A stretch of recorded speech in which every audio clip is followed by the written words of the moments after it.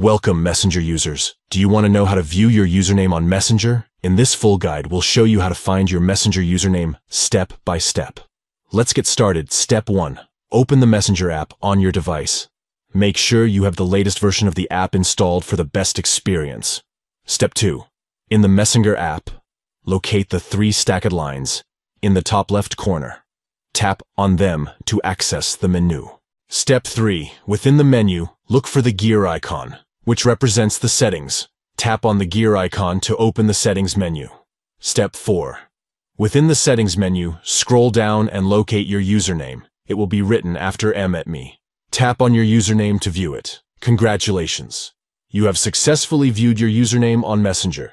You can now easily share it with your friends and contacts. If you found this video helpful, please give it a thumbs up and consider subscribing to our channel for more informative tutorials and messenger tips.